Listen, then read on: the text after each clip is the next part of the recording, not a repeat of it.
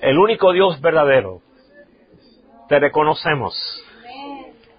Y aquí está nuestro corazón con el altar.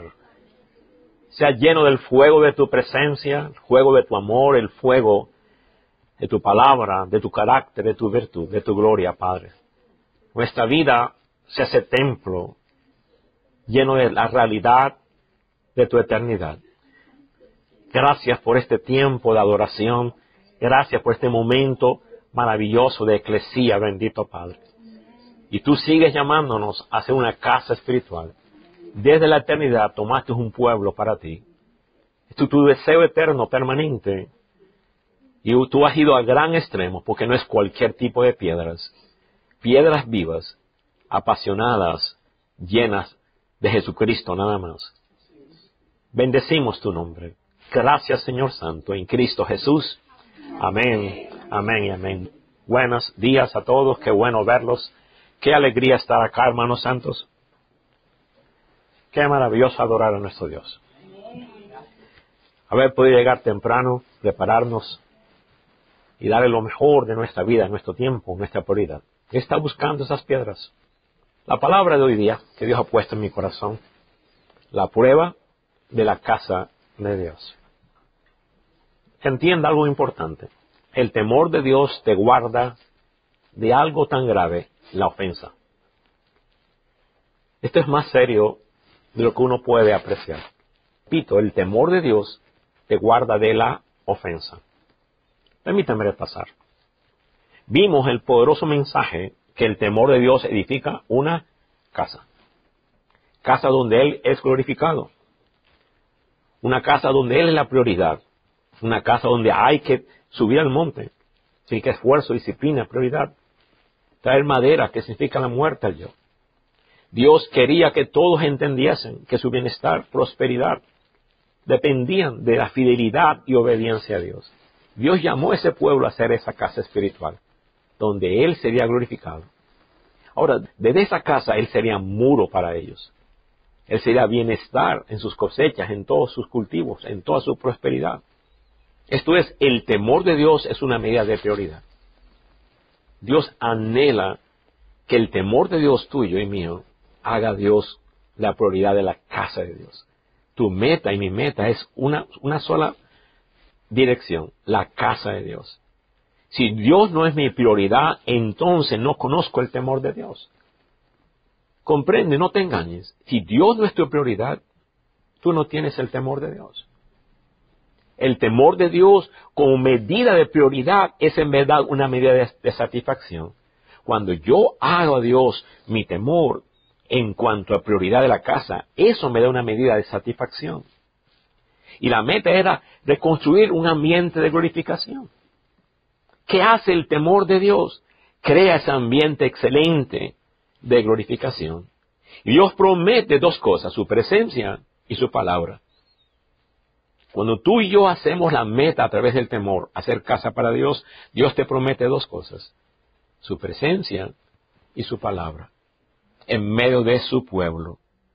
Saber que Dios está con nosotros nos da la fuerza de perseverar, la confianza para enfrentar cualquier obstáculo. Y a pesar de nuestra vida natural, que no sea espectacular, Él dice, la gloria en ti será mayor. Está hablando de la gloria superior. Entonces, no importa si mi vida no es espectacular en la tierra, la sola presencia de Dios hace que mi vida tenga la gloria superior.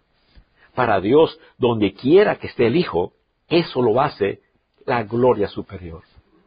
Vimos que aquel templo no era tan espectacular, era muy sencillo. Sin embargo, la gloria iba a ser superior. Y Dios quiere que tú y yo formemos madurez. Observa, en base de gloria mayor. ¿Qué es madurez? Es que tú mides tu vida, no en lo espectacular de tu vida, en tus esfuerzos, logro. Madurez es que comiences a medir tu vida en base de la gloria superior. Repito, ¿qué es madurez? Comienza a medir tu vida en base de la gloria superior, que es la presencia de, de Cristo en ti. Jesucristo como la esperanza de gloria, dice Pablo. Tú y yo tenemos una esperanza gloriosa. Y termina siempre en esperanza.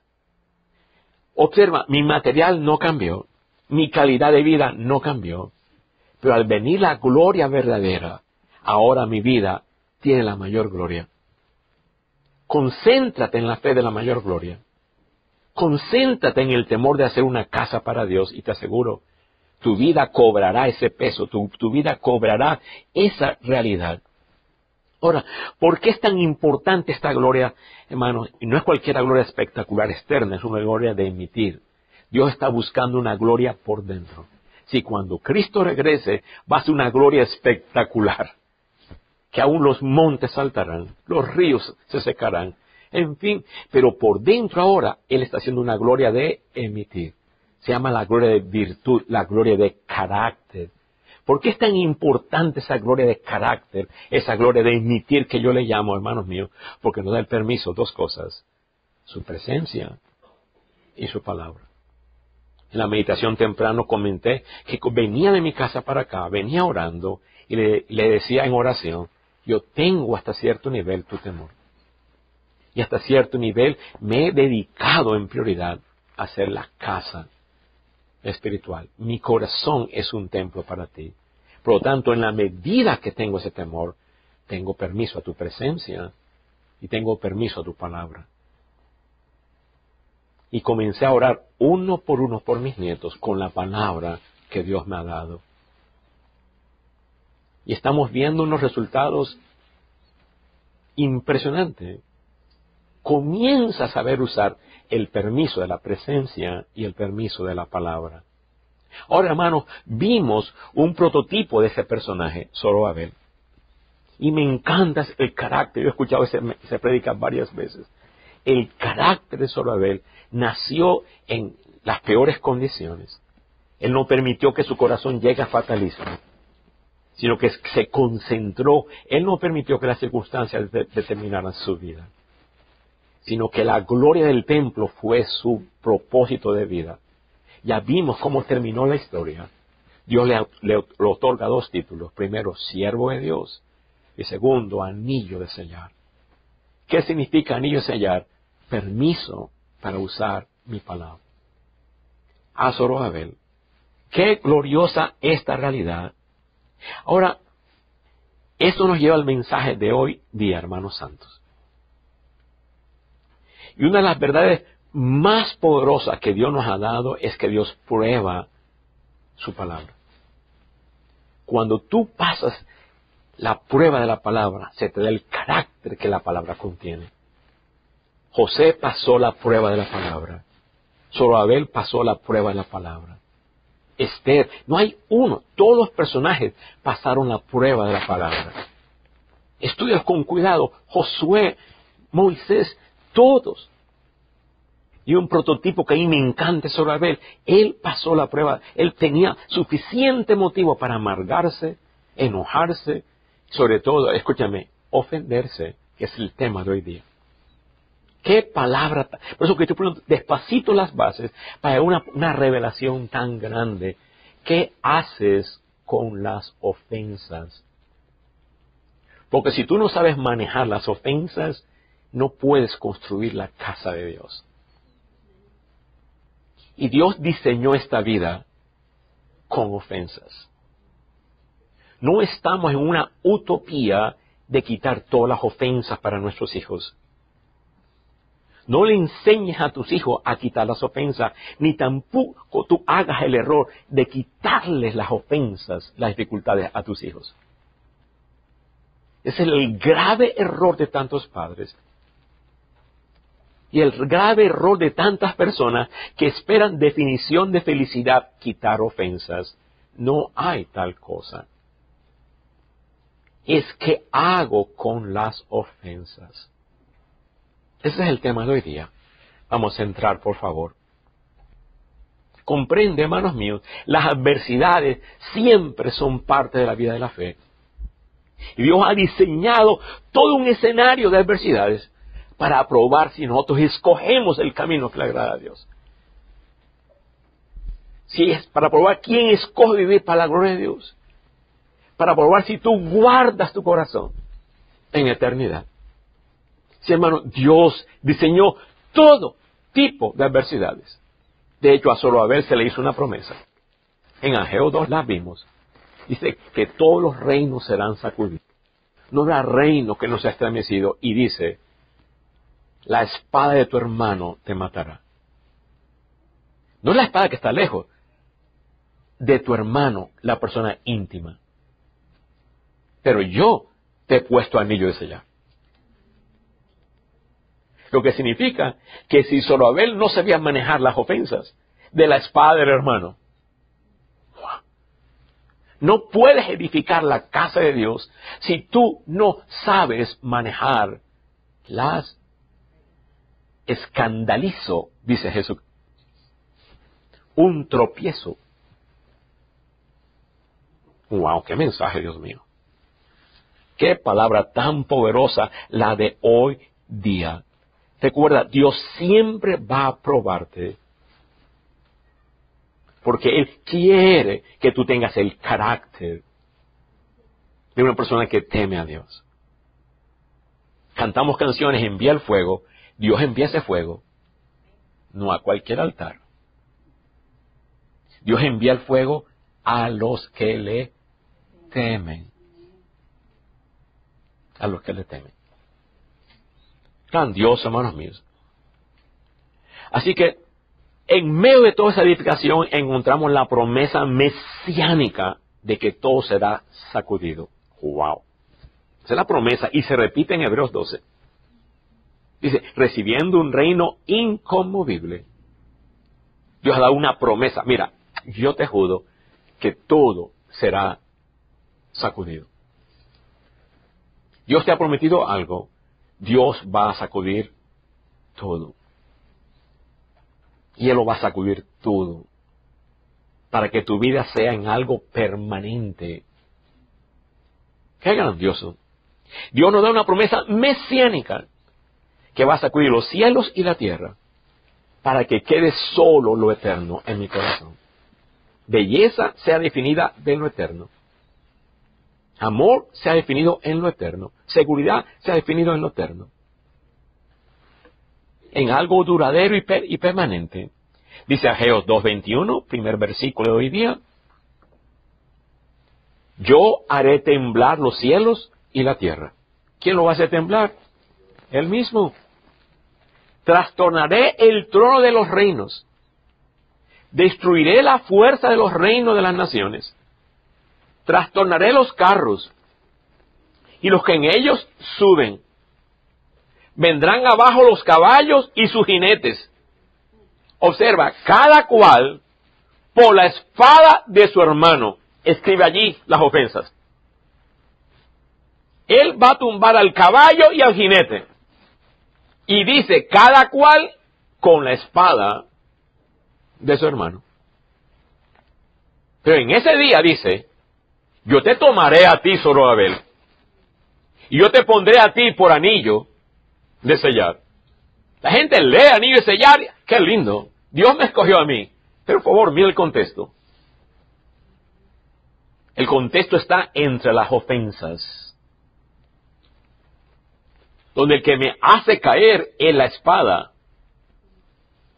no de mi vecino, no del que está lejos, de mi propio hermano. Qué grande promesa esta, hermanos míos. Así que este es el mensaje. La importancia de saber manejar las ofensas. La importancia de saber manejar las adversidades, las desilusiones y los derechos no cumplidos. Las personas que persisten edificar su vida en madera, paja y hojarasca serán muy susceptibles a tropezar en ofensas. ¿Cómo tú sabes que estás construyendo con madera, paja y hojarasca por la ofensa? ¿Cómo tú sabes que estás construyendo oro y plata y, y piedras preciosas? Porque tú no te ofendes. No es que no vengan las ofensas, sino que te resbalan. Eso es bien importante, hermanos míos. Y las personas que persisten a seguir construyendo con madera, paja y hojarasca, caerán víctimas fáciles de las ofensas. O sea, las personas 10 años de cristiano, 15 años de cristiano, están ofendidos, heridos. Y te voy a mostrar una secuencia horrible de la ofensa. Tú no puedes edificar la casa de Dios. Y no puedes ni pedir ni fuego. Porque no vendrá. Así que revisemos una de las señales de los últimos tiempos. Ay, ay, ay. Descuidada por la mayoría. Hay un terremoto, Cristo viene. Hay un maremoto, Cristo viene. Hay un huracán, a la puerta está Cristo. Pero te voy a mostrar una señal que ni miran, que ni prestan atención a la señal que Él sí quiere que yo preste atención. Wow. ¿Quieres verla, hermanos míos? Vamos, por favor. Estando Jesús en el templo, los discípulos le señalan la belleza de los edificios. Entonces Jesús declaró señales que son muy relevantes para nuestra fe. Señales para nuestra salud espiritual. Y Jesús advierte a sus discípulos que el amor entre creyentes no se enfríe. Ese, lo que Jesús está diciendo, guarda el amor ágape. Entre creyentes no se enfríe. Yo te pregunto, ¿cómo está tu amor entre creyentes? Si tu amor es frío, tú has tropezado con ofensas. Si tu amor es hipócrita, superficial, religioso, sin fuego, tú no has sabido manejar las ofensas. Jesús dice claramente, esta es la señal a sus discípulos, que tu amor no se enfríe y no se refiere al amor del mundo, porque el amor del mundo no tiene amor ágape. La palabra que él usa es amor ágape. El amor ágape Dios no se lo ha dado al mundo. Se lo ha dado a la iglesia. Vamos, por favor. Mateo 24. Ellos están mostrando en el edificio. Y Jesús le vuelve, le vuelve la mirada. Quiten la mirada de esas cosas. Y ahora les hace a ellos entender algo importante en Mateo 24, 4, respondiendo Jesús les dijo, mirad que nadie te engañe. Ay, ay, a los discípulos. Mira que nadie te engañe. Presta mucha atención. ¿Y una advertencia de quién? De mero, mero Mesías. Nuestra máxima cabeza. Y él no se equivoca porque vendrán muchos en mi nombre. ¿Cuántos? Muchos, diciendo, yo soy el Cristo. Y a muchos engañarán. Y oiréis de guerras, oiréis de rumores de guerras. Mira que no te turbes, porque es necesario, necesario que todo esto acontezca. Pero aún no es el fin. Hermano, las guerras, según Jesucristo, es necesario que vengan. Pero aún no es el fin. Porque se levantará nación contra nación reino contra reino. Y habrá pestes. Ya pasamos unas hace poco. Y habla en plural, pestes. Y hambres. Habrá terremotos en diferentes lugares. Y todo esto es principio de dolores. Ese comiencito nomás. Jesús nos está advirtiendo. Y pero la advertencia es que nadie te engañe.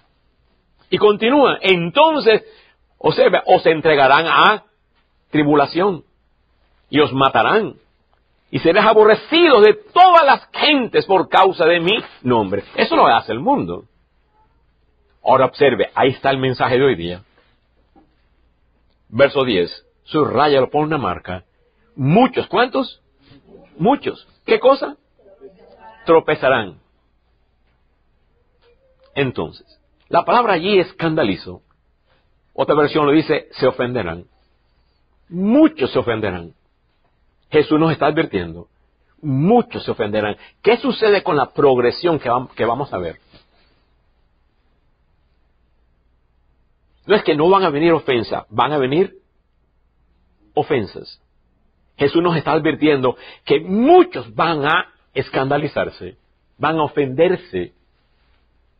¿Qué vas a hacer tú con tu casa? Si tú no sabes manejar la ofensa, estás perdiendo algo esencial del fuego de la casa. Sobre todo el amor. Vamos a, continuar. Entonces, muchos se ofenderán, tropezarán y se entregarán unos a otros. La palabra ahí se traicionarán.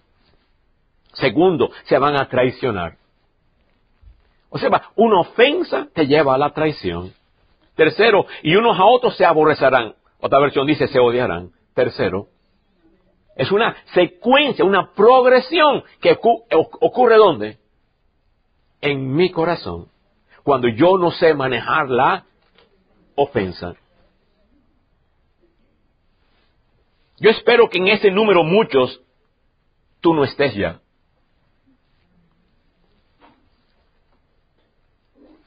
Qué serio esto, hermanos míos. Verso 11, y muchos falsos profetas se levantarán y engañarán a muchos. Número 4, entonces se entregarán, es fácil de ser engañado. La persona ofendida es fácil de ser engañada. Y engañarán a esos muchos. Y terminamos y por haberse multiplicado la maldad, la palabra ahí número 5, la palabra ahí maldad es anomía. Cuando tú te ofendes, ahora tú te vuelves sin ley. Wow. Es decir, ahora tú haces tu propia ley. Te das el derecho a hacer tu propia ley. Por haberse multiplicado la sin ley, cada uno hace su propia ley, su maldad, el amor de muchos se enfriará. Y dice Cristo, más el que persevera hasta el fin, este es el salvo. Obviamente no está hablando al mundo. Porque el mundo no persevera para nada. ¿Está hablando a quién? A los discípulos. La persona que persevere, esa es la que va a ser salva. Si observamos bien, aquí encontramos una progresión. Primero tropiezan o se ofenden. Segundo, se entregan unos a otros, se traicionan. Tercero, se aborrecen, se odian. Cuarto, son engañados. Qué tremendo. Y número cinco, el amor se enfría. ¿Qué es esta progresión? Se trata de la progresión de una persona ofendida. Esto es, no importa cuándo uno se guarde. No importa cuánto tú te protejas. No importa cuánto cuidadoso tú te creas. La temporalidad siempre tiene esta progresión. La persona que no se dedica al templo de Dios, al temor de Dios, es inevitable. Va a ser herido. Va a ser ofendido. La persona que ama su madera, ama su paja y ama su hojarasca, va a ser ofendido. Tremendo. Una persona ofendida siempre va a traicionar. Va a aborrecer. Va a ser engañado. Y su amor se enfriará. Ahora, yo te pregunto, ¿dónde radica el problema aquí? ¿Será en la, en la ofensa? Bueno, en la ofensa no. Las ofensas y circunstancias adversas son parte de la vida de la fe, como dije anteriormente. Dios no cambió el mundo, Dios cambió la manera en que yo respondo. Dios no va a quitar las ofensas. Cuando pase por el fuego, yo apagaré el fuego. No, no te vas a quemar. Dios no apaga el fuego. Cuando pase por las aguas, no te negarán. Dios no quita el agua. Pero Él dice, yo voy a estar contigo. Entonces, ¿dónde está el problema? El problema no está en la ofensa. Tenemos que trabajar para hacer una utopía. utopía significa un gobierno ilusorio, donde no hay ofensas. Y así están las mamás tratando de hacer una utopía para los hijos. Y les dañan el carácter. Así están los papás tratando de hacer una utopía. No hay tal cosa. Y comenzamos a culpar y a culpar y a culpar y a tener esas culpas por años en nuestros corazones. Si tú tienes culpa en tu corazón por alguien y por algo, tú estás en esa progresión. Wow. Qué serio este mensaje. Así que tenemos que trabajar para hacer una utopía. Por supuesto que no. Un mundo sin ofensas. No hay tal cosa. Claro que no. Eso lo va a traer nuestro Mesías en el retorno, donde Él va a quitar los malos y los hollaremos como ceniza. Dios santo. Entonces, ¿dónde radica el problema? Radica en el tipo de casa que tú edifiques. Ahí está el problema. Porque ellos están mostrando el edificio y Jesús le contesta, ven este edificio. Y mira lo que Jesús le está diciendo. Es, Jesús está diciendo qué tipo de edificio tú quieres construir. Yo te pregunto, ¿qué tipo de edificio tú estás construyendo? ¿Realmente tienes el temor de Dios? ¿Realmente estás haciendo la casa de Dios? Y no se puede construir la casa de Dios sin este ingrediente tan importante que Jesús ponderó. ¿Qué hacemos con las ofensas? Así que claramente Jesús habló de dos tipos de casas. Estas dos casas representan el tipo de vida que hemos elegido. Una vida de acuerdo a su palabra y una vida de acuerdo a mi palabra. Dice Cristo claramente, cualquiera pues que me oye estas palabras, sus 49 mandamientos, Mateo, Marcos, Lucas y Juan, y las hace, le compararé a un hombre prudente que edificó su casa sobre la roca. ¿Qué tipo de casa tú quieres construir? Realmente pregúntate, ¿qué estás haciendo tú con tu vida? Y sí, descendió lluvia. ¿Te das cuenta que si hay ofensas? Descendió ríos y soplaron vientos y golpearon contra la casa, pero no cayó, porque estaba fundada sobre la roca. Mas el que no escucha, sino que desprecia las palabras y hace su propio antojo, la hace su casa sobre la arena, y sí van a venir las ofensas ríos, lluvias, vientos. Y es grande la ruina. Así una persona que edifica sobre la arena, en verdad está edificando con madera, heno, hojarasca. ¿Sabe cuánta gente citas pastorales? Locales y extralocales. Y es lo mismo. Y los llevo, tú estás así. Y mira tu matrimonio, mira tu hogar, mira tu cristianismo, mira tu amor, mira tu fuego. Y a llorar, caballero porque están edificando mal. mal.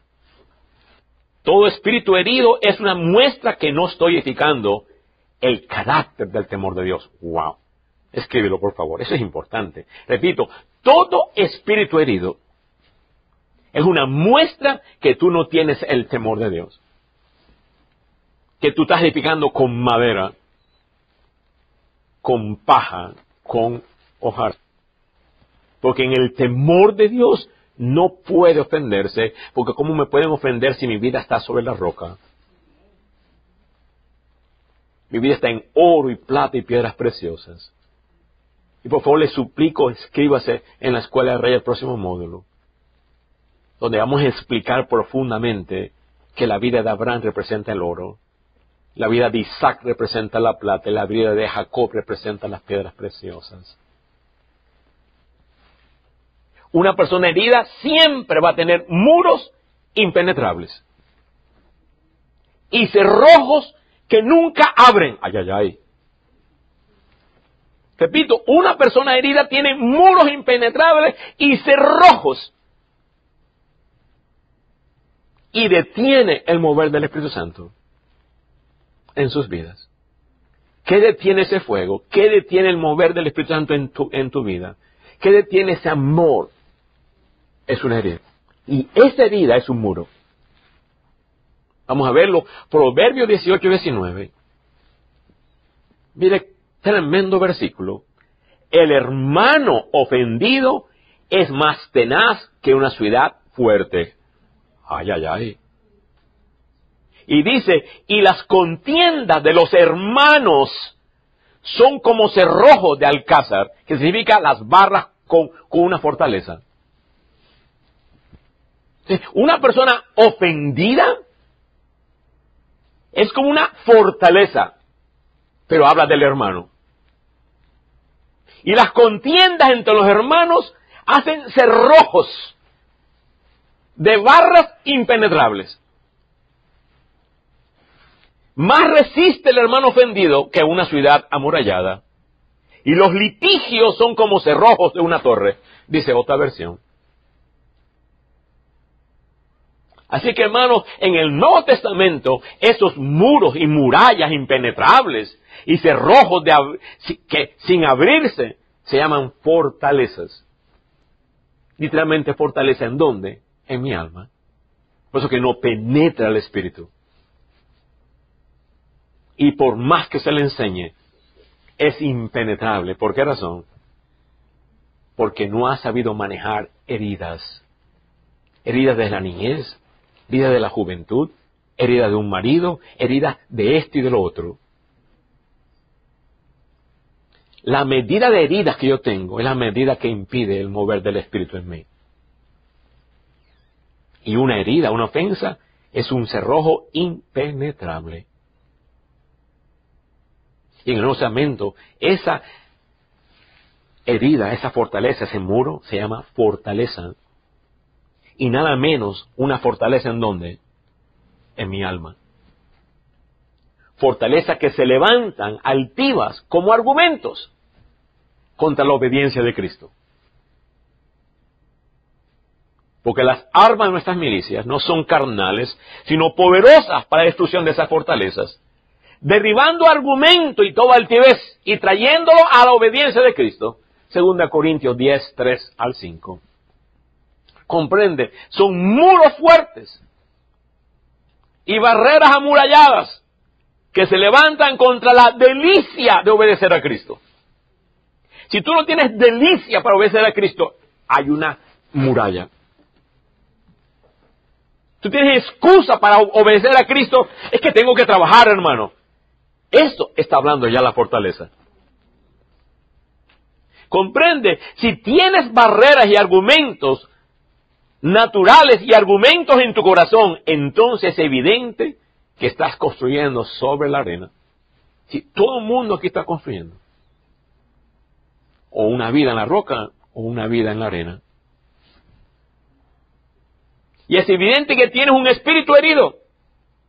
Y esa ofensa que te lleva a un amor frío es una evidencia que tus valores madera, paja y hojarasca son. Yo te pregunto si es que tienes herida. No, no, no es que sí que, si es que tienes.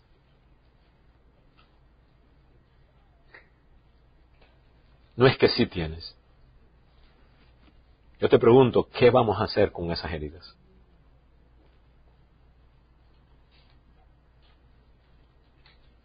Vamos a permitir que el Espíritu Santo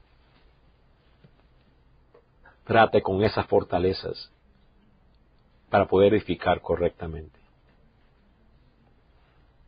Si tú dices que no tienes herida, eres mentiroso. No estoy ofendiendo, honestamente. comprende, tu alma es el campo de batalla y tu alma es el lugar para edificar la casa. Para la gloria de Dios. Pero las ofensas impiden edificar la casa de la gloria. La palabra que Jesús usó para ofensa es escandalizo, que literalmente significa entrampar, hacer tropezar, incitar a la apostasía. Sí, se trata de una ofensa que nos lleva a apostatar, apartarnos. Apostatar significa apartarse. A separarnos del amor, a separarme del hermano, a separarme de la devoción. Podemos estar juntos, pues estamos bien separados. Hoy día, en lo natural sucede lo mismo. Israel quiere construir el templo, el templo Salomón que fue destruido, lo reconstruyó Zorobabel, Herodes lo continuó por años. Aquel templo en el año 70 fue destruido. Aquel templo fue construido en una roca. E-, ellos llaman la roca santa. Pero en su ausencia construyeron una mezquita. En la roca está una mezquita.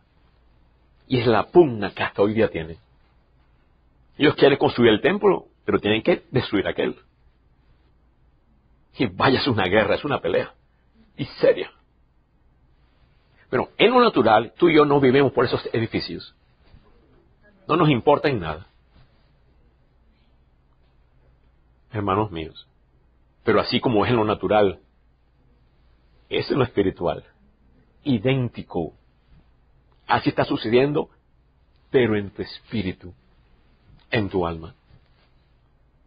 Dios quiere construir su casa de gloria, pero ahí hay una mezquita. Qué serio eso, hermanos míos. Aunque a nosotros no nos importa, es una cuestión histórica ya, pero sí me ayuda a entender visualmente qué está pasando en mi corazón. Ahora mismo hay fortalezas en tu alma. Hay fortaleza en mi alma que impiden la edificación de una vida devota, una vida de prioridad, una vida apasionada, para la gloria y para la obediencia a Dios. Hay fortalezas en mi corazón. Para algunos son fortalezas financieras. Siempre están en presiones económicas. Y las excusan, se entrenaron, piensan. Cuando tú piensas en estas presiones financieras, es una fortaleza que el diablo tiene y te justifica. Para otros son fortalezas de, salud. Siempre están frágiles, siempre están débiles, sin fuerzas, sin atención y hasta dormidos. Es tremendo. Desganados, sin vitalidad. Esas tremendas fortalezas. Y excusamos todo tipo de enfermedad. Ser viejo significa ser acabado. Morirse es morirse con diez cables. Es una fortaleza metida dentro de nuestro corazón. Giovanita los miércoles de mañana tiene un grupo excepcional. Están estudiando los siete estrés, todo un libro de sabiduría, de ciencia. Dios mío. ¿Cuánto tenemos que arrepentirnos de esa fortaleza en dónde? En cuanto a la salud. Y no se puede construir una casa de Dios con esa vitalidad de, tu cuerpo. Para otras las fortalezas son familiares. Siempre tienen imposibilidades familiares. Hasta los perros lo detienen. No puedo, el gato. Son fortalezas. Tú no lo ves así. No tienes la libertad para tu devoción absoluta. Hice la promesa para María, aquella doncella que se le apareció el ángel. Y ella dice, profetiza, y le serviremos con libertad. Son fortalezas que impiden la construcción del templo. Para otros son imposibilidades, fortalezas demoníacas que presionan depresiones, estrés, miedos, timidez. Dios no quiere que tú seas tímido. Canta, no puedo cantar. Pero yo te escuché cantar en el, en el baño. Es tremendo. Son fortalezas de timidez. Lo siento mucho. No excuses esas cosas. Son fortalezas que el diablo tiene en nuestra vida. En fin, son tantas fortalezas. Y yo oro que no te hayas ofendido. Yo te pregunto, ¿cómo somos libres de esas fortalezas? ¿Cómo somos libres de esas fortalezas? Wow. Qué tremendo. Somos libres solamente a arrepentirnos de construir la casa equivocada. Rendirnos a un corazón que ame la casa de Dios. Suplicarle a Dios que Él derribe esas paredes amuralladas. Traer cada fortaleza de mentira a la obediencia de Cristo. Y tomar la gracia cada día para hacer una de nuestra alma una casa de gloria para Dios. Comprende, la señorita tan linda a tu lado tiene heridas y tú no las quieres ver. Tu hijo joven, tan joven, 13, 14 años, tiene heridas que están determinando su vida, su curso de vida. No es que sí, quizás.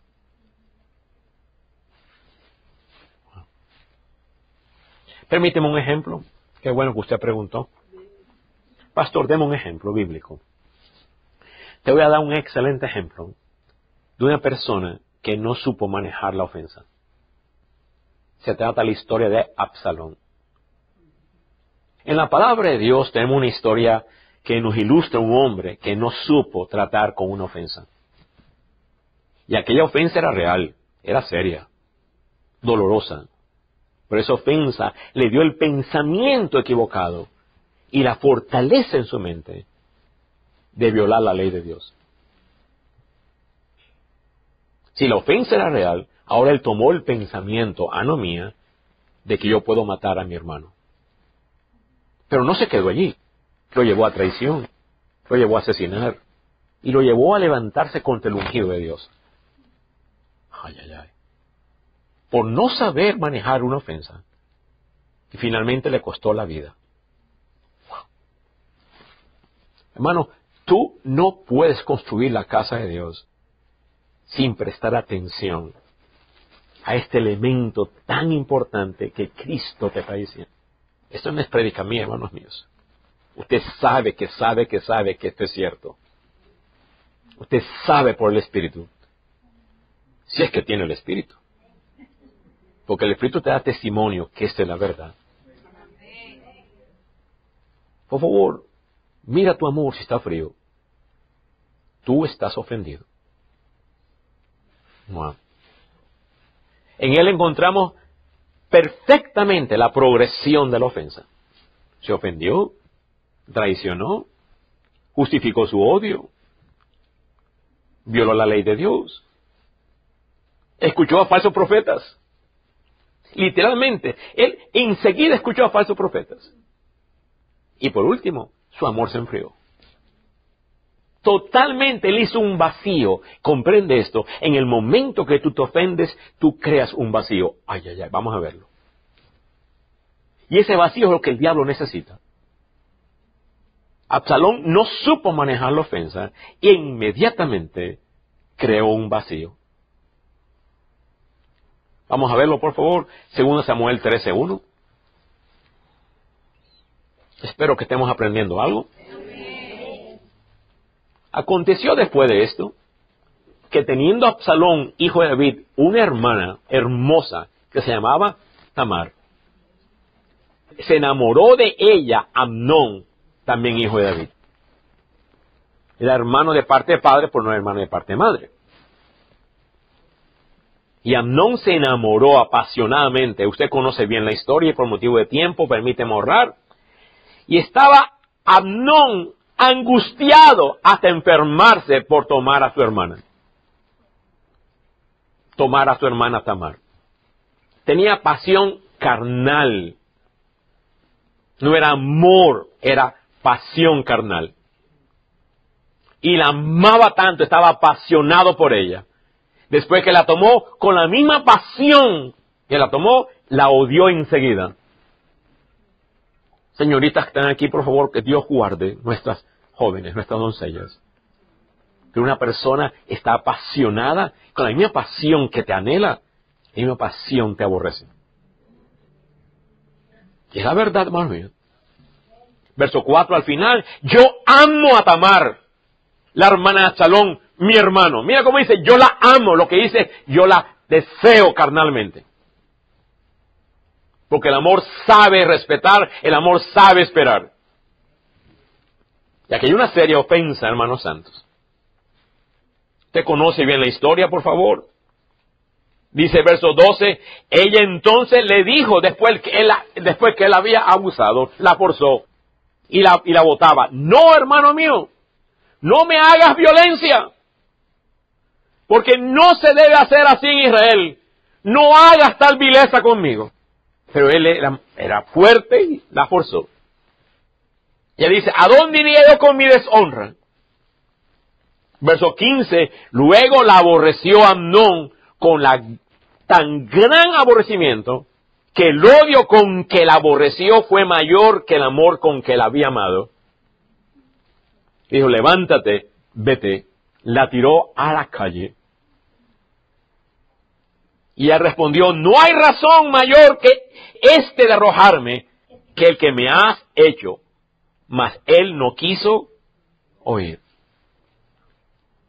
La ofensa era seria. Sí, grave, horrible, profunda. Pero eso no le da el derecho a Absalón no saberla manejar.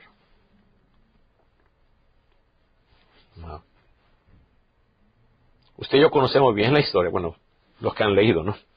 Conocemos bien la historia. Verso 22, ese versículo márcalo. Mas Absalón no habló con Amnón, ni malo, ni bueno. Póngale al lado, creó un vacío. Aunque Absalón aborrecía a Amnón, es decir, no tenía amor, creó un vacío donde no había amor, porque había forzado a su hermana. Este vacío que él creó lo llevó a graves consecuencias. Cuando tú no sabes manejar la ofensa, tú creas un vacío. Un vacío donde no hay amor de Dios. Amor de Dios. Yo te pregunto, ¿tiene tu alma este vacío? Que el diablo tiene derecho de tomar.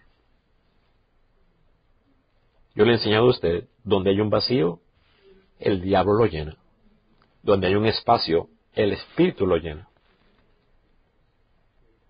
Yo he analizado en mi vida cuántos vacíos desde joven. Y esos vacíos es lo que el diablo necesita para poner su casa de pensamiento. ¿Por qué una señorita tiene tendencias homosexuales? Porque se creó un vacío. ¿Por qué un jovencito tiene un corazón rebelde, apático? Porque se creó un vacío.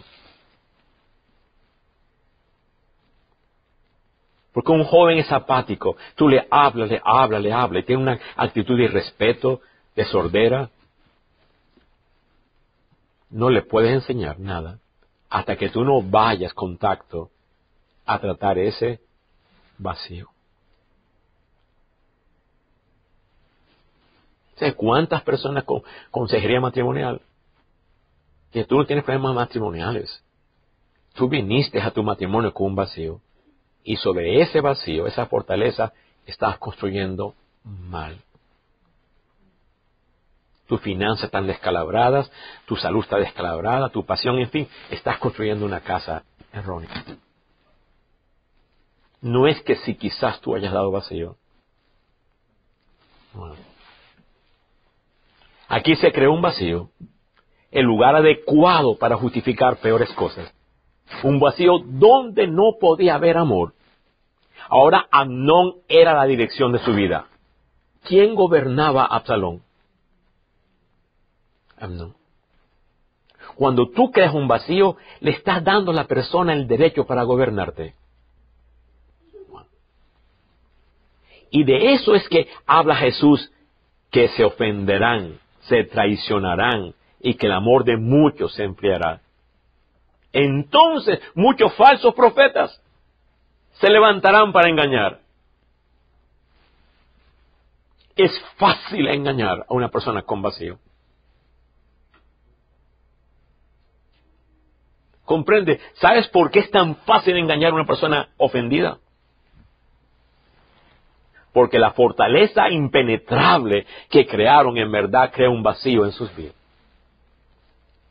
Conoce a tu alma. El diablo necesita sus vacíos, basados en las ofensas, para poner sus fortalezas, casas de pensamiento. Has vivido tantos años con esa casa de pensamiento, ahora es tu identidad. Y el Espíritu de Dios quiere hablarte por la intuición y no puede. Si tú no tratas esa fortaleza, el Espíritu de Dios que mora en ti te quiere hablar personalmente, a tu voz cara a cara, apaciblemente. No puede. No hay peor desgracia para un creyente teniendo el Espíritu y no sepa escuchar la voz del Espíritu de Dios. Mis ovejas escucharán mi voz. ¿Cuántas veces el Padre le habló a, a Jesucristo? Dos veces nada más. El cielo se abrió, este es mi hijo amado. Y luego se abrió en el Monte Santo, en la transfiguración, a él oí. No hay más registro que el Padre le habló. Yo te pregunto, ¿cómo le hablaba el Padre a Jesucristo tanto? Por la intuición. La intuición es la voz apacible del Espíritu en nuestro corazón de aquellos que no tienen fortalezas.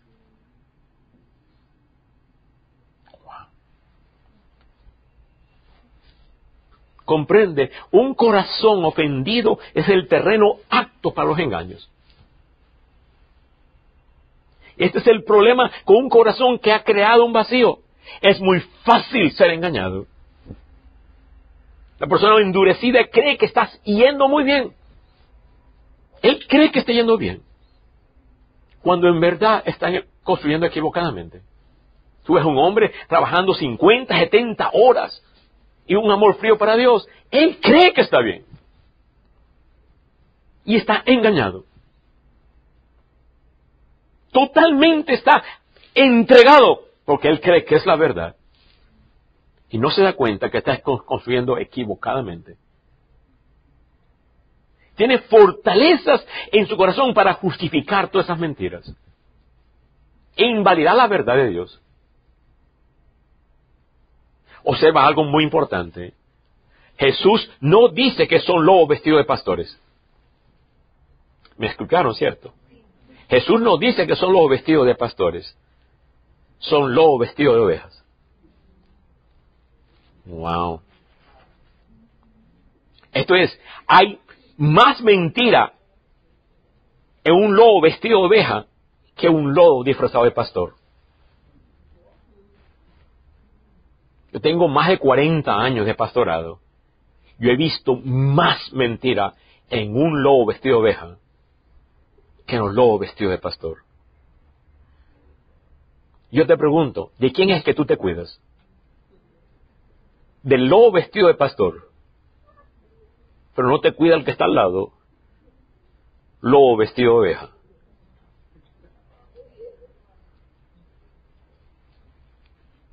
Seamos realistas, nos cuidamos de los lobos vestidos de pastor cuando no nos cuidamos del lobo vestido de oveja. Todos están buscando un falso pastor.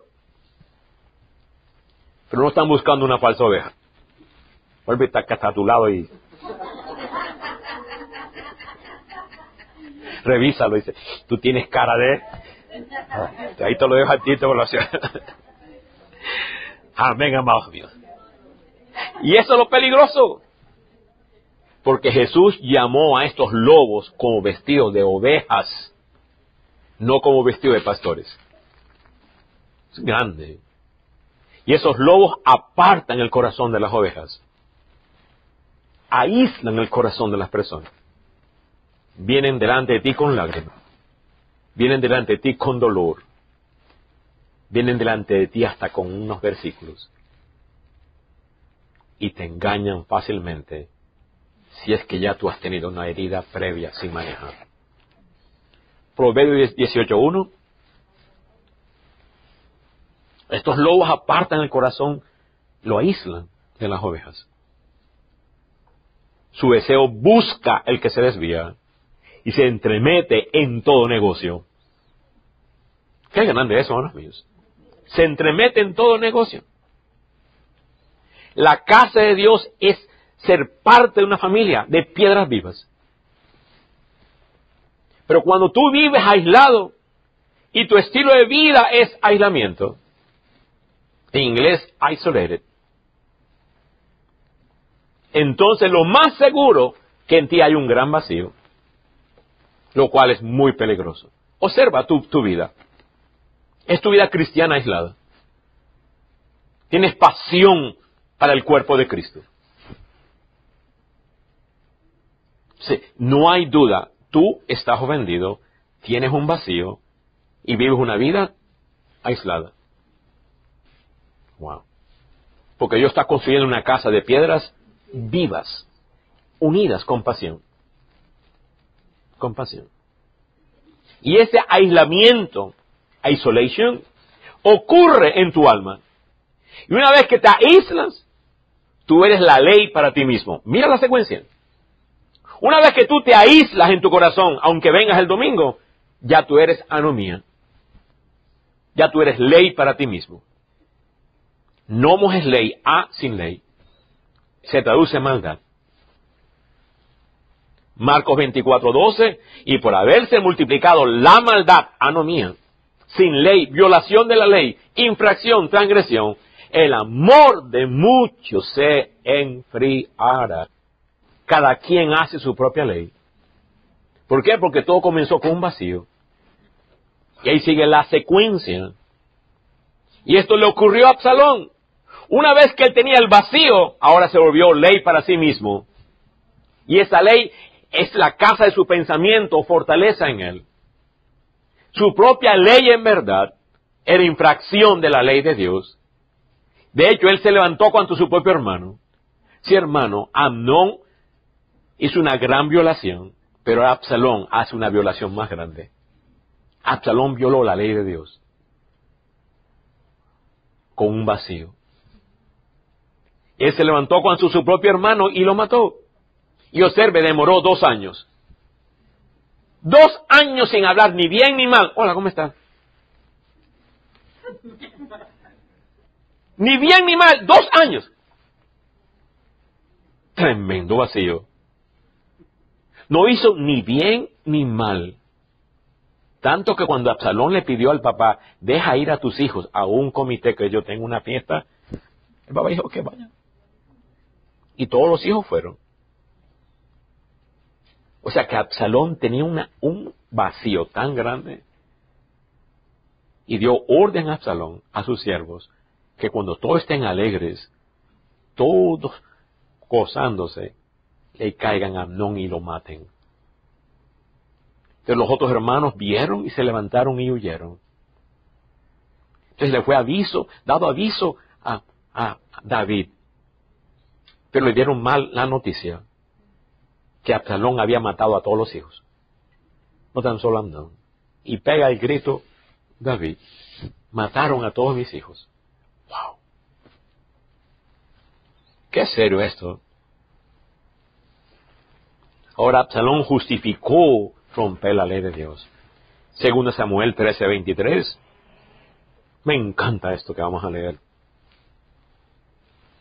Aconteció, pasado dos años, no hizo nada el bendito. Calladito. Verso 28. Y Absalón había dado orden a los criados, diciendo, os ruego que miréis cuando el corazón de Amnón esté alegre por el vino. Y al decir yo, herid a Amnón, entonces matarle, y no temáis, pues yo os lo he mandado. Esforzaos pues y sed valientes. Mira cómo tuerce todo. Qué tremenda tragedia, hermanos santos. Verso 30. Estando ellos aún en el camino, o sea, los hijos, llegó a David el rumor que decía, era más rápido que Facebook. Llegó el rumor. Absalón ha dado muerte a todos los hijos del rey y ninguno de ellos ha quedado. Vaya, qué mala noticia. Una vez que, que eres la ley para ti mismo, tú no te sometes a Dios. Y esa es la fortaleza. Ya tú no tienes un corazón rendido. Ahora tu corazón es tu propia ley. Ya no, tú, no estás edificando la casa de la obediencia, la casa de la delicia de rendirme. Tú eres tu propia ley. Y todo comenzó con un vacío. Yo te pregunto, ¿cuántos vacíos dominan tu vida? Tuve una cita matrimonial en aquella mesa.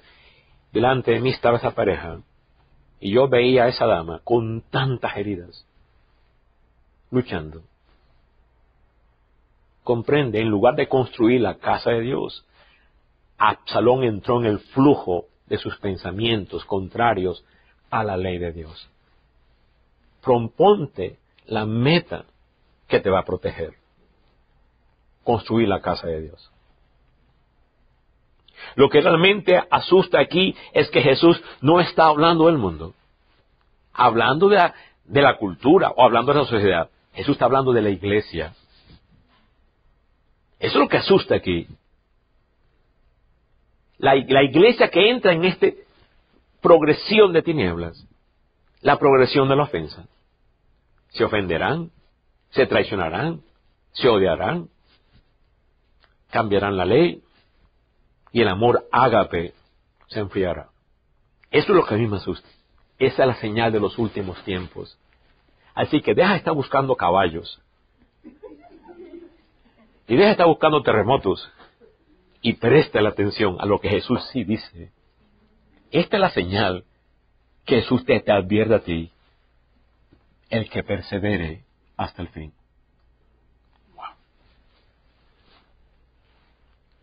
Se dice de la iglesia de Éfeso que perdió el primer amor. Así que el amor que se enfría es el amor ágape. Y este amor ágape solo ha sido dado a la iglesia. El mundo no tiene amor ágape. Jesús no está hablando del, del mundo, ni la cultura, la sociedad. Y luego está hablando, si el que, para que no haya duda, el que persevera hasta el fin. El mundo no tiene que perseverar para ser salvos. Tremendo. Entonces yo te pregunto, ¿quién es la persona que más te puede herir a ti?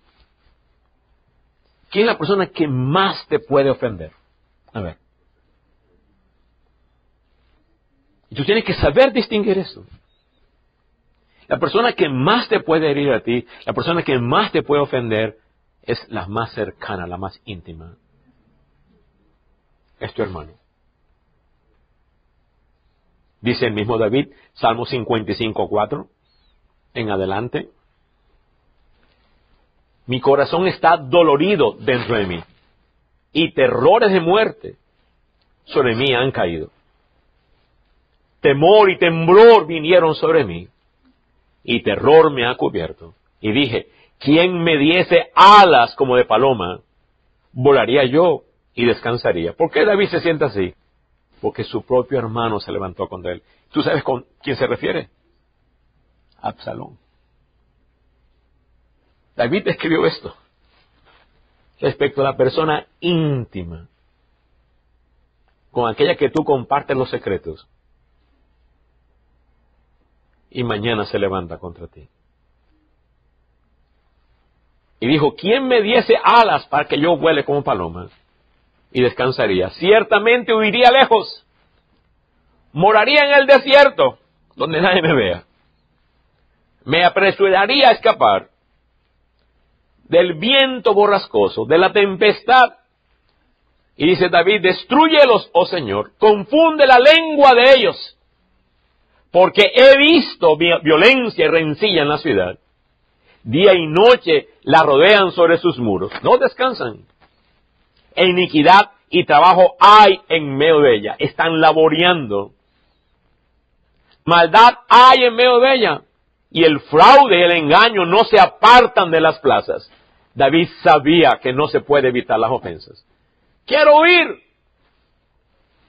Verso 12, porque no me afrentó un enemigo, lo cual habría soportado, ni se alzó contra mí el que me aborrecía. ¿Quién es el que se levantó contra él? Porque me hubiera ocultado de él. Sino tú, hombre, al parecer íntimo mío, mi guía y mi familiar, que juntos comunicamos dulcemente los secretos y andamos en amistad en la casa de Dios. ¿de, ¿de dónde viene la ofensa? De la persona más íntima. Yo recuerdo el primer pastor, cuando yo conocí a Giovanita, ella me enamoró a mí. Y yo me resistí. No puedo dar detalles. Por la gracia de Dios, él mismo me nombró hasta su brazo derecho. Y él cayó horriblemente. Me hirió mucho. Mucho mi corazón. Me rompió mi corazón. Yo recuerdo sentado en la oficina de él, él al frente mío, yo sentado y dice, yo le perdono a usted. Usted no me ha ofendido en nada. Pero le aseguro que de hoy en adelante no pongo mis expectativas más en un hombre. Dios me hizo pasar un dolor bien profundo. Desde ese día en adelante, Dios me enseñó una lección profunda. Mis expectativas solo están en Dios. No pongas expectativas en la madera, en la paja o en la hojarasca. Construye en oro. Ama a la gente, pero tu expectativa no está en nadie. El único que no falla es Dios. ¿Qué elección tan grande esta, van a Yo ciertamente espero del mundo lo peor, pero no espero eso de mi hermano, mucho menos en la casa de Dios. Así que las expectativas mías del mundo son cero, pues las expectativas mías de ti son muy altas. Las expectativas tuyas de mí son muy altas. Y ahí está el error. Así que cada vez que pongo mis, expectativas en un hermano, me coloco en la posición de ser ofendido. Al tener expectativas en mis hermanos, le estoy otorgando un poder sobre mí, un poder para ofenderme. Así que si quieres construir la casa de Dios, tus expectativas tienen que estar bien puestas en las alegrías y satisfacciones eternas. Esperanzas que no se hieren, ni ofenden, ni te traicionan. No dice Cristo, no construyas en la tierra donde el ladrón mina roba. Construye en los cielos donde nadie te puede robar. Así que nuestros materiales de construcción deben ser bien claros. Si tú construyes con oro, plata y piedras preciosas, tú no vas a ser ofendido. Qué grande ese secreto, hermanos santos. En la casa de Dios, solo Jesús es nuestra esperanza de gloria. Dice Cristo claramente, poner la mira en las cosas de arriba y no en la tierra, porque tu vida está escondida con Cristo en Dios. Sí, hermanos, se nos manda a construir una casa inofendible, donde tu oro no te lo roban, ni tu plata, ni tus piedras preciosas. De otra manera, tú vas a ser ofendido por la persona hasta más íntima tuya. Eso es un hecho, hermanos santos. Cristo en nosotros. Y Pablo dice, yo trabajo duramente para presentarte perfecto en Cristo. ¿Qué es perfecto? Que tú eres plata, piedras preciosas. Que Cristo es tu todo. ¿Sabe cuánta gente está ofendida? ¿Y cuántos viejitos se ofenden? ¿Y cuánto le afecta a la, a la salud? Porque ellos mismos se colocan en esa posición. Qué serio esto. Vamos a terminar. Una pregunta muy importante. Concluimos. Voy a terminar con una pregunta muy fácil de responder para aquellos que tienen valores eternos, pero muy difícil de responder para aquellos con valores temporales. Vamos a ver si tú la puedes responder. Esta es la pregunta. Y con esto concluimos. ¿Crees tú que tenemos derecho a ofendernos delante de una ofensa? Repito la pregunta. ¿crees tú que tienes derecho a ofenderte delante de una ofensa? ¿Por qué somos tan fácilmente ofendibles? Fácilmente ofendibles. No me saludo. No esto. No lo otro. Somos tan facilitos de ofender. No me llamó. Abrazó a otro, pero a mí no me abrazó. Comprende, si tú crees que tienes el derecho para guardar una ofensa y crear un vacío, para crear una fortaleza, que a su vez se levanta contra la ley de Dios y termina en un amor frío, entonces jamás tendrás el carácter para construir la casa de Dios. Si tú crees que tienes el derecho para ofenderte, tú jamás podrás construir la casa de Dios. Y Jesús dijo, siervo malvado, todo eso te he perdonado. ¿Por qué tú no eres capaz de perdonar al que te hizo menos? Sí, hermano, la ofensa de Tamar es muy grande, pero la ofensa nuestra contra Dios es mucho más grande. Cuando tú guardas derecho de ofensa, tú estás diciendo que tú vales más que Jesús y que tú vales más que Dios. Wow. Y eso no es un vacío, es un vacuum.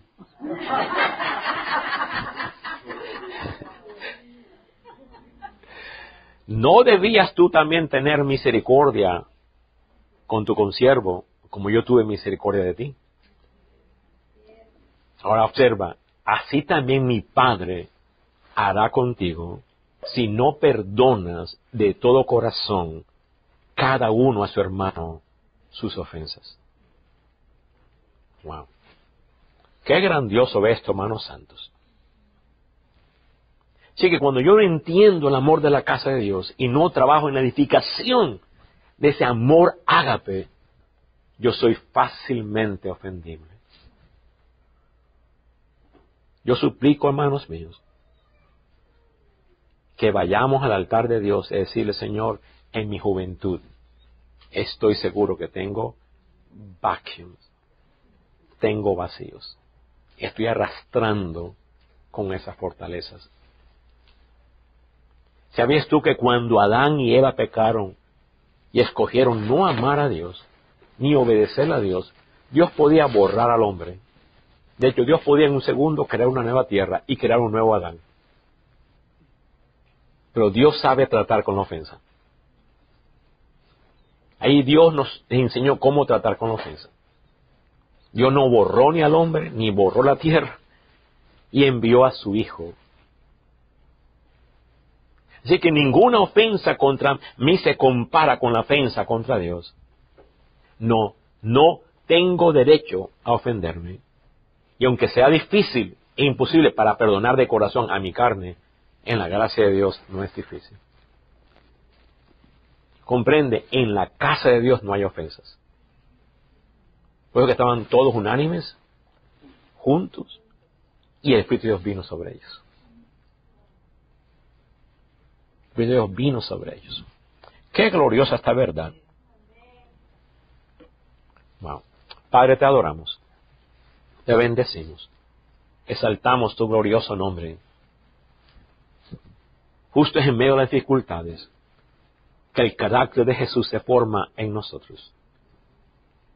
Podemos estudiar del perdón, pero solo durante la ofensa y el agravio es que verdaderamente aprendemos el perdón. Cuando perdonamos en medio de la ofensa, el agravio se llama virtud. Virtud es lo que sale de mí cuando estamos bajo presión. Sale el jugo de la uva cuando se presiona la uva. Sale el aceite cuando se presiona la oliva. En la presión de Cristo salió tanto perdón, tanto amor. En la ofensa salió lo mejor, la vida. Y esa es la casa que tú quieres que construyamos en la casa donde no hay ofensa, donde hay amor genuino, donde no estamos aislados. Por lo tanto, Padre, yo vengo ante tu altar. No sé quizás tengo ofensa. Sé que yo tengo tantas ofensas. Tú me diste esta palabra no para predicar, me la diste a mí para vivir. Y yo vengo hoy al altar porque sé que en Cristo soy una nueva creación. Sé que en Cristo soy una casa inofendible. Sé que en Cristo no tengo que estar yendo al pasado a buscar tantas cosas. Pero sí tengo que estar consciente a quitarle el terreno legal, las heridas, los vacíos, y dar genuino perdón, donde en mi corazón no haya cárceles, en mi corazón no haya expectativas. Y tú has permitido esas ofensas para mostrarme mi corazón ha dado al madera, a la paja y a la hojarasca. Perdóname, Señor. Y aquí vengo ante tu altar, quiero oro, quiero plata y quiero piedras preciosas para edificar una casa de amor genuino, una casa de pasión, una casa de comunión, una casa donde tú eres glorificado. Tómame como piedra viva cada día, Señor, y hazme crecer sin ofensas.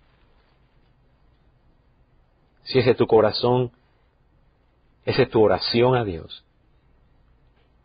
Aquí nos presentamos, oh Padre.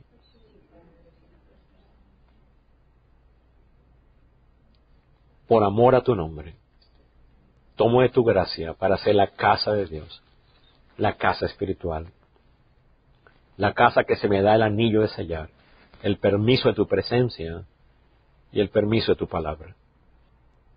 Quiero edificar la casa de Dios. Aquí rindo mi corazón, bendito Padre.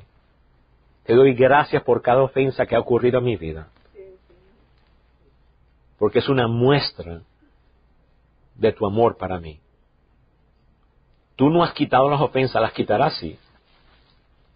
Tú no has quitado los tropiezos, de hecho, tú dices, es necesario que vengan los tropiezos.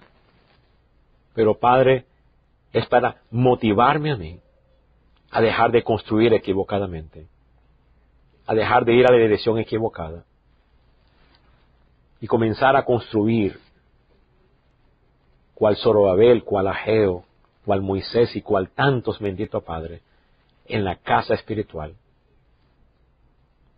Me asombran los discípulos estaban mostrando el edificio, lo espectacular de los lugares, y Jesús le responde con esto.